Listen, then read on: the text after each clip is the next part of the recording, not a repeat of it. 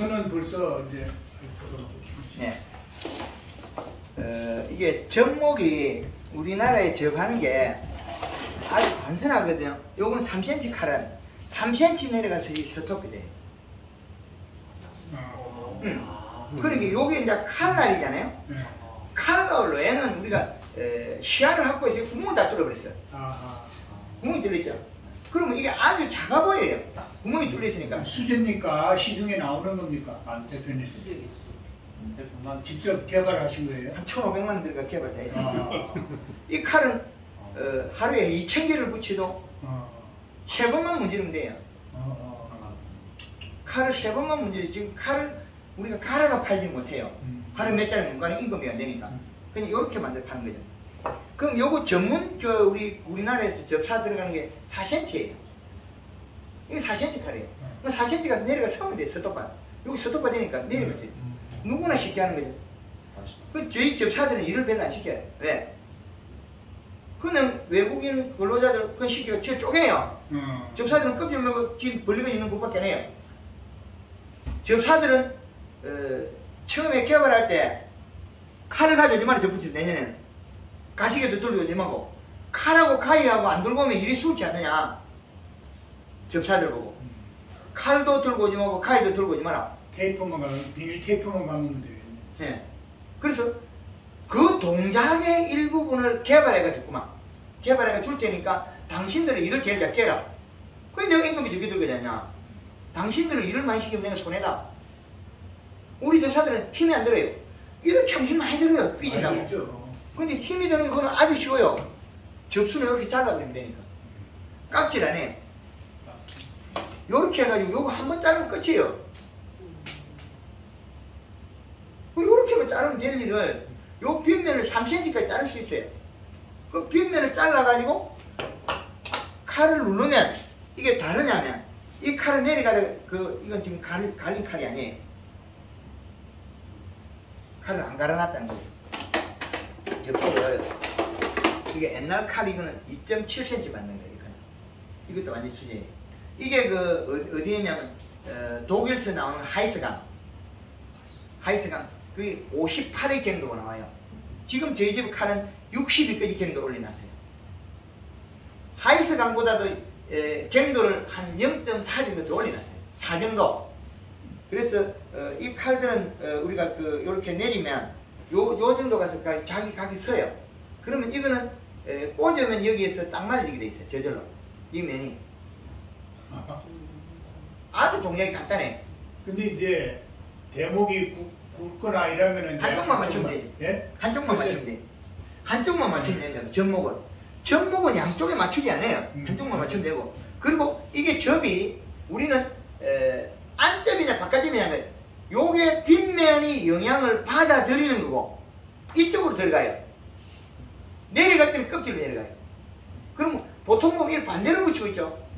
그, 그 어, 성장이 덜해요 이게. 그럼 우리는 어떻게 하냐? 이- 이렇게 거꾸로 붙이. 안 뒷접을 붙여. 이 뒷접. 많이 삐진 면이 안쪽으로 들어가게 돼. 음. 한쪽만 빗는 거예요 그러면? 그렇죠. 양쪽에 안 빗고? 어, 이거는 껍질만 까지는 거지. 이 반, 이쪽에 반대 쪽으로. 까기니까 예.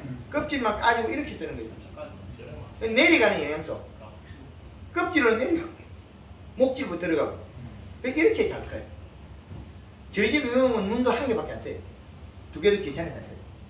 그두 개 쓰면 이게 감는 인건비가 더 들어요. 감는데 인건비가 더 든다고 이게 기니까. 그리고 어, 이게 어, 반대편을 해놓으면 아래 위에 두 개 튀어나오는데 이렇게 해놓으면 유선행을 만들면 한 번씩밖에 튀어나오는 게 없거든. 이쪽은. 그래서 빨리 가. 그래서 접목은 어, 이렇게 칼하고 가위하고 다 개발해가지고 이 대체해버립니다. 이, 프- 이 프로젝트까지 다 개발해놨죠. 이. 감은 대표님 예. 이게 좀 좀 깊이 깊이 있게 좀 이렇게 저기 뭐야 잘라야지 그렇지 않아요. 산다고 그러는 그건 안 관계없어요. 어. 대목 자르는 날짜에 바뀌어요. 접목은 왜 되고 안 되냐고 결정하냐면 대목 자르는 날짜 음. 접이 되고 안 되고 그럼 여기 땅에서 얼음이 나는 그 차이 그러면 흙을 덮어놓은 자리는 땅에 탈 수가 없어요. 그래서 가을에 흙을 좀 덮어놓으면 싹 잘라 내밀 보고 덮어놓으면 돼. 아, 대목, 대목을 덮어놔라. 흙으로. 네. 흙으로 좀 덮어놓으면 돼. 위에 아무 필요 없어요. 내년 덮으실 때. 그렇죠.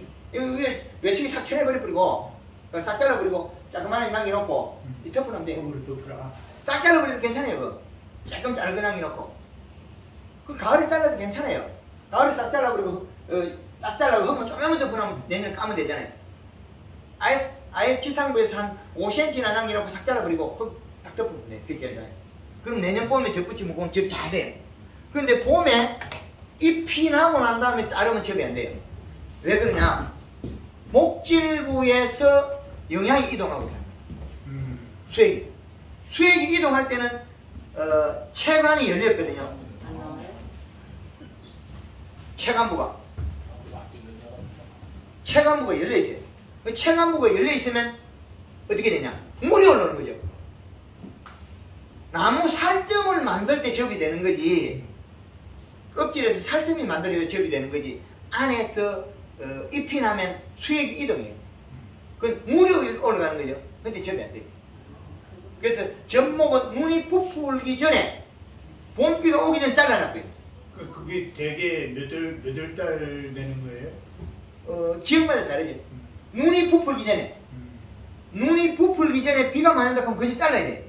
봄비가 흠뻑 온다 그러면 물이 돌아버리니까 잎이 없어도 물이 회전하거든요. 그 2월 달 정도, 그물 오르기 전에 한 2월 달 정도는 짧 근데 나무를 죽이고 있으니까 2월 달에 자르면 늦고 가을에 여기는 잘라가지고 가을에. 가을에 잘라 흙을 폭 덮어놔야 돼. 뭐 유막 코팅이 칠하면 다 필요 없대. 단풍 들이게 하고 가을에 너목으로 단풍을 쫙 들여가지고 어, 그 다음에 덮어야 돼요. 낙엽 떨어지고 난 다음에. 그렇죠. 단풍을 들여야 된다. 그 묘목을 키우려 그러면 이 실값이 1.5대는 유지해야 돼. 이 실량을 수분 35에서 45%를 유지하고 예 이렇게 돼.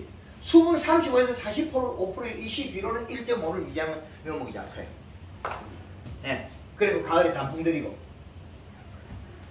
그 전목은 가을에 어째도 깔 거니까 지상부에서 한 5cm만 남겨놨고 5cm 남겨놓고 싹다 잘라 깨끗이 싹 잘라버리고 내년에 일 안 하도 반드시 잘라놔야 돼 가시력이 없도록 이 가시력이 남아있으면 내년에 그게 딱딱 굳어가지고 문제가 되겠죠. 그래가지고 어, 봄에 흙을 좀 약간 더 파내버리고 그 다음에 위에 빗자루 좀 썰어가지고 여기에 흙 묻은 거. 자른 자리에 흙이 묻어 있어 주겠죠. 자른 자리에. 대가리 자른 자리 있잖아요. 흙이 묻어 있으니까 칼이 칼에 상처가 입으니까. 이게 예, 흙을 가지고 이 대가리 여기 흙 묻은 거. 묘목 자른 자리 흙을 썰어버리라. 어, 그리고 어, 에, 접목은 어, 이제 눈이 부풀 때 접을 해야 돼요 피어버리면 회전하고 있어요. 그 피기 전에 눈이 피기 전에 상처를 내놔야 자기 스스로 치유해요. 그지? 근데 물이 돌아버리면 상처가 아니고 성장이죠. 그 물이 이동하는 거고 두 가지가 달라요. 그래서 에, 묘목이 어, 여기에 있는 목질부에서 나오는 어, 껍질에서 나오는 영양을 먹고 살이 차서 자라야 되는데 몸통에서 물이 올라가 하면 죽어버려요. 물이 물을 갖다가 이 접수에 접수에 물이 올라오면 수분이 올라오면 얘는 눈이 나와요. 수분이 올라오면 안 돼. 여기에서 살점이 돋아나와요. 대목에서. 대목에서 살점이 돋아나오고 접수에서 살점이 돋아나와야 돼. 그게 접이 되는 거죠. 그래서 어, 접목은 잘못하면 어, 반대 동작을 해요. 대목을 잘라놓고 며칠 기다렸다가 요 나무가 지상부가 없다고 생각을 하고 난 다음에 접어야. 그래서 지상부가 있다 생각하면 접을 하면 물이 올라가겠죠. 아무리 겨울에 똑같아요. 겨울에 바로 자르고 접을 붙이고 여기 안 맥혔어요. 마무리를 못 졌어요. 그래서 가을에 잘라놓으면 제일 좋죠. 가을에 잘라가지고 짧게 잘라 흙을 덮어놨다가 봄에 다시 그 흙을 딱 드러내고 여기 흙 묻은 거 비자를 썰어버리고 뭐 바람을 불거든요. 썰어버리고 에, 쪼개에 접을 붙입니다. 접을 붙일 때는 칼은 동작은 두 번 땡겨 올리고 내리고 그러면 이 칼들이 보면 3cm 이게 조금만 까도 이게 될 거예요. 여기 조금만 까도 내려가요. 이 칼이 칼이 잘 드는데 내려가요. 칼이 이게 이게 내리도 내려간다는 거예요. 칼이 이래 껍질로 3cm 내려갈 거니까 3cm 그런데 에, 이게 그 어, 4cm 칼은 어, 이게 많이 내려가야 되기 때문에 약간 위에 더 까야 돼. 더 까고 내려야 돼. 그렇지 않으면 다 내려갈 때 안으로 들어가요. 그래서 이 칼 두께를 갖다가 에, 우리가 일반적으로 우리나라에서 거의 접사, 접목도들이 3mm, 3mm 정도 되는데 이건 1.5mm로서 아주 경도를 높이는 겁니다. 그럼 하이스날, 이게 톱날을 우리가 만들어 쓰는 건 1.25T거든요. 그럼 이건 해창거리야. 이건 1.5 되면 해창거리 1층이.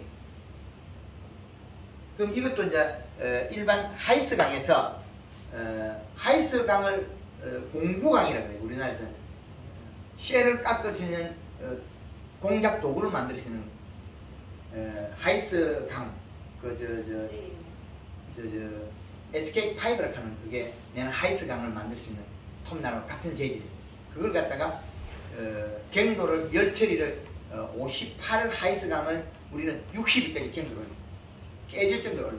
그래 놓으면 어, 영, 어, 칼갈 때 얼마 안 갈아도 돼요. 그리고 어, 이 칼은 어, 동작에 줄여야 된다. 칼을 쓸 때는 우리가 칼을 얼마나 잘 갈리나 보려면 우리 그이 일회용 숟가락 프레틱 숟가락 여기에다가 딱 당겨보면 알 수 있어요. 칼이 갈린지 안 갈린지. 이게 깍깍 물면 안 돼. 약간 물듯 말듯 하는 정도. 너무 밀리면 약하게 누고 요걸 딱 당겨보면 알 수 있어요. 그러면 그 칼 가는 거는 뭘로 갈아야 되는 거예요? 숫돌. 숫돌? 예. 줄로 줄로 하는 게 아니라 숫돌. 에, 이건 한 몇 시간 갈아야 돼요. 그, 우리가 그, 저, 어, 고, 어, 일식집의 주방장들이 이런 그 셰프들은 자기 칼을 쓰는데 그 사람들이 아마 칼을 하루 종일 깔 거예요. 한 번 넘기고 이 칼을 만들 때 제일 앞날은 어, 절단하거나 이런 거 할 때 열이 열체가 약간 들어갔거든요. 특별하게. 그래서 야 조금 우리가 머리 두께만큼 갈아가 내버려요. 그 안에 나를 씌워봤어요. 그럼 안정적이. 그 사람들은 어, 제일 끝날은 안 써요. 갈아가지고 어, 버려요. 넘겨요. 갈, 칼면 이제 너무 많이 갈면 넘어가거든요. 그러면 또 이렇게 문질러 가지고 그 이빨을 버리고 새로 만들어요. 그래가지고 이, 이 칼도 그렇게 써야 돼요. 저희가 칼을 어, 이렇게 잘 만들어 놨더라도 이 칼들은 조금 비싸죠. 최하 15만원에서 18만원까지 하니까. 네, 이, 이, 이 칼이, 이 칼 한 자루가 전에 15만원에서 파는 거거든요. 6년 전에 개발해가 파는 거예요. 그랬는데, 이제는, 어, 그게 지금 이제 여기까지 나와 있어요. 이제 그것이 이제 업그레이드가 예. 된 칼이네. 예. 접도 칼이. 예, 그래서 이걸, 이걸 개발한다고 한 달 이상 또 고생했지. 공장에 가면 이렇게 안 만들어져요. 그 사람들 자기 생각대로 또 잘못 만들면 다 만들어가 버리고 다 만들어가 버려요. 완성됐다 그러면 전 다 버려요. 만족을 못하니까 싹 다 버리고. 칼을 다 만들고 나면 응, 알았다고 싹 버리고. 그러면 지금 지금 그렇죠. 쓰고 있는 그 수제 접도 칼하고 이거하고의 그 차이는 능률 차이는 더 빠르고. 지금 이, 이 칼은 이 칼은 손에서 빠져 내려오는 것만 박아놨지 땡기는 힘이 약해요. 근데 이거는 이렇게 알을 잡아놨지 자루를 땡기는 힘이 강해. 땡기는 힘이. 칼 자루 이렇게 돼 있잖아요. 땡기는 힘이 강해. 살 잡고 있어도 마음대로 땡길 수 있어요. 근데 이 칼은 힘을 주고 잡고 있지 않으면 사- 칼이 빠져나가 버려 땡기다. 근데 이 칼은 작게 잡아도 안 빠져나가요 절대. 그리고 어, 누르는 동작 속에 우리는 에, 브레이크 동작을 같이 쓰거든요. 그 깊이를 갖다가 조절한다고 힘을 갖다가 내려가는 힘을 딱 잡고 있다. 천천히 이래가거든요. 우리는 그냥 슬쩍 누르기 3분의 1밖에 힘이 안 들어요. 그래서 어, 능률도 능률도 훨씬 빠르겠는데. 그 초보자를 갖다가 어, 요게 두 개가 동, 칼이 똑같단 말이에요. 3cm, 4cm 차이밖에 없지. 그럼 대표님은 저 그 뭐야 권하는 게 3cm짜리예요, 4cm짜리. 예, 저희는 3cm짜리 쓰고 그물로 쳐가지고 그물망 디귿자를 써가지고 묘목을 다시 한번 바람을 잡아버려요. 디귿자 철근을 만들어가지고 그물 고추망 그물로 쳐버려요. 지금 그물 치 집에 묘목 접사들 우리 그 직원들이 다 해. 그물 쳐가지고 태풍에 넘어진 거다 잡아놨어요. 그물만. 근데 3cm 칼이 효율이 빠르겠죠. 근데 저, 전라도 쪽이나 그 경산이나 옥천 쪽에서는 어, 4cm를 내리려 그러는데 실질적으로 접사들이 4cm 내리는 게 별로 없어요. 요거는 저- 거짓말 못해요. 4cm 돼 있으니까 내리고 난 다음에 칼은 4cm 끝이 내려갔는데 에, 접수가 이제 약간 굵으니까 4cm까지 안 들어가겠죠. 그러니까 한 2, 3mm 안 들어가 3.7은 들어가겠죠. 이건 정확하겠죠. 근데 누구든지 그 이렇게 내리도 어, 안정감이 있죠. 위에서 브레이크가 잡히니까. 그리고 어, 칼이 전체 크기가 그래 안 커요. 아주 작은 듯 하면서 강하게 만들어놨죠. 힘은.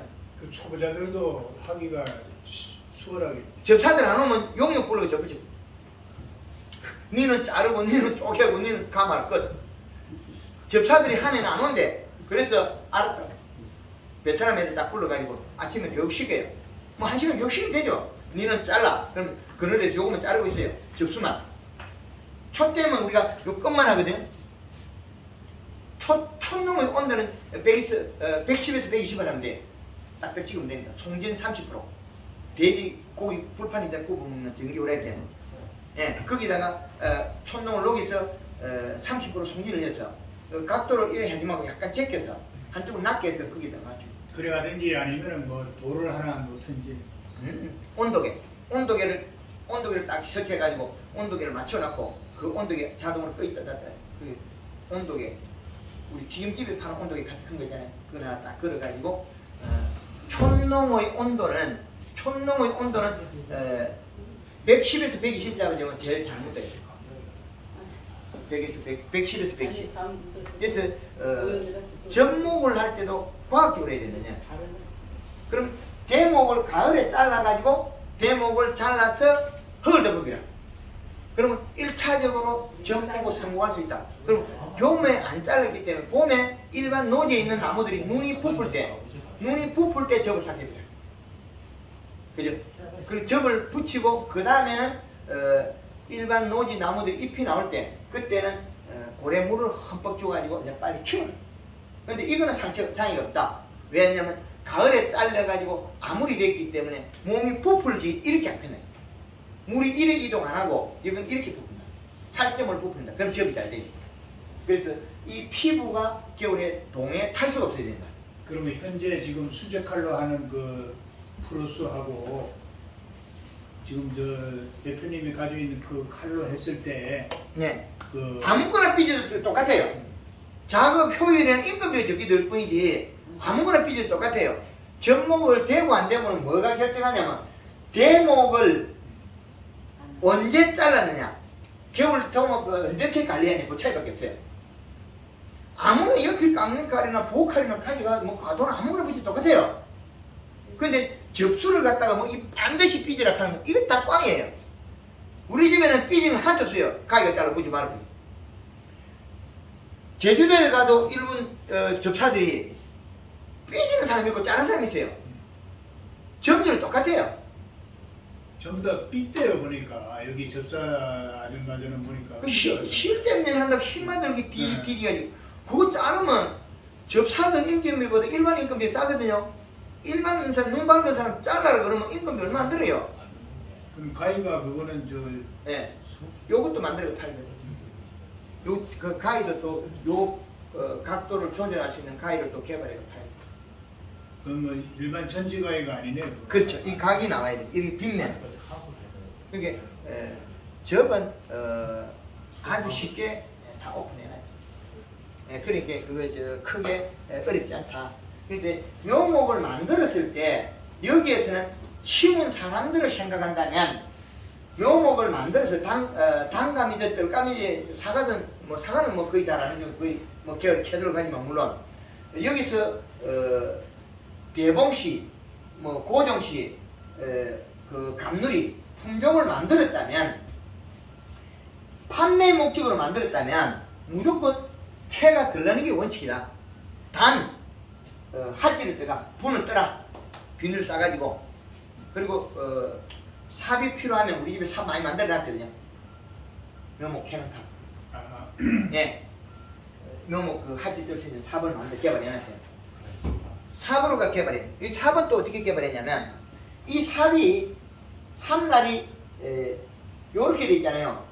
요것이 발이 닿으면 우리가 밟을 수가 없죠. 날개를 여기 딱 달아가지고 더 밟아버려. 날개를 달아 더 밟아버려. 그러면 어, 여기서 요거만큼 흙이 더 들어가면 뿌리가 잘려요. 감남뿌리 그리 깊이 없어요. 여기 한 20cm밖에 깊이 없거든요. 그럼 요, 요걸, 요 뿌리를 절단하지 않으면 묘목을 못, 따- 못 캐요. 원뿌리 절단하지 않으면. 요 칼, 에, 요 삽도 또 개발해요. 요 삽. 그, 내 대표님은 그 포크레인을 안 하고 그 삽으로 합니까? 그 래서 이제 삽으로 캐 임금비 또 든다고 해서 트랙터를 캐버리려고 분해될 수 있는 거예요. 트랙터를 캐버리면 분해 단계 있으니까. 그래서 이제 툭툭 잘라가지고 봉지 싸가지고 어, 이렇게 하면 분은 가지다니까 깨지는데 그물망에 심은 묘목은 그물망이 땅에 심으면 캐버리면 이 분이 잘 안 깨지겠죠. 그러면 이거는 어, 전국 유통을 하겠다는 거예요. 앞으로 단가 묘목을 생산해서 저희 집에는 전국 유통을 해도 규격하겠다. 규격화. 규격화 안 된 거는 시장성이 떨어지지. 그리고 묘목 심는 방법하고 다 모든 걸 개발 오픈하겠죠.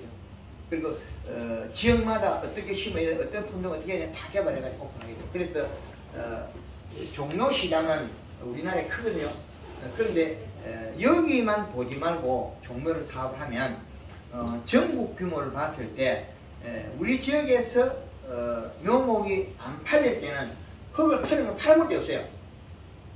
서울시장에 제대로 못 팔아먹어요.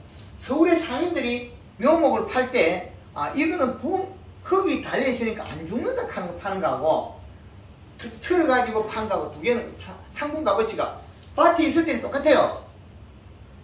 캐면서 달라지겠죠. 그래서 분을 떠라. 그 분을 떠는데 이 나무의 뿌리는 언제 만드냐? 이 시장에서 만들어요.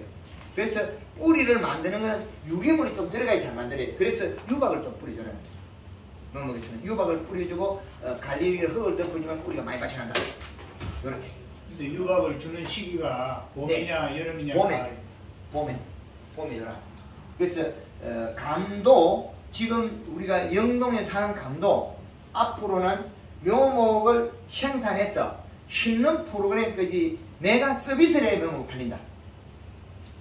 묘목 딸랑 죽어 죽은 이 사람이 따지는 그 시대는 이미 아니다. 왜? 내가 살리고 주면 될 일을 묘목 팔아가지고 숨이 안 나는 묘목을 팔아면 되거든요. 날씨가 가물고 안 가면 더 다음 문제고 저희 집에 묘목을 캐놓으면 한 놈도 눈 안 나는 게 없어요.